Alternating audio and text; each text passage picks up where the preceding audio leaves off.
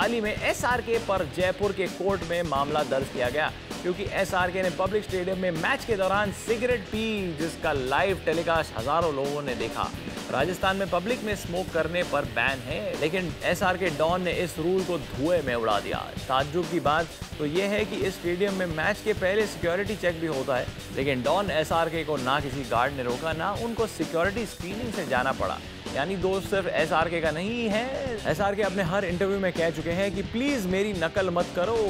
मैं जो भी पर्सनल लाइफ में करता हूँ आप उस पर गौर मत करना। मैं कोई इंस्पिरेशन फिगर नहीं हूँ लेकिन शाहरुख अगर आप लाखों करोड़ों यंगस्टर्स के रोल मॉडल हैं तो आपकी ज़िम्मेदारी है कि आप सही एग्ज़ाम्पल सेट करें। Hey, सल्लू कहता है कि फ़िल्म लाइन छोड़ दो। गौरी बोलती है पिकी को छोड़ दो और तुम कहते हो कि सिकी को भी छोड़ दो लो छोड़ दी।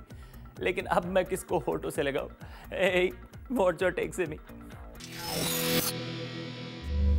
शायद शाहरुख के मुँह से अभी तक सलमान की तीखी बातों का धुआँ निकल रहा है। Hey but on serious note I think एक दिन ऐसा आएगा जब हीरोइंस कहेंगी instead of kissing romantic king Khan hey are we kissing the ashtray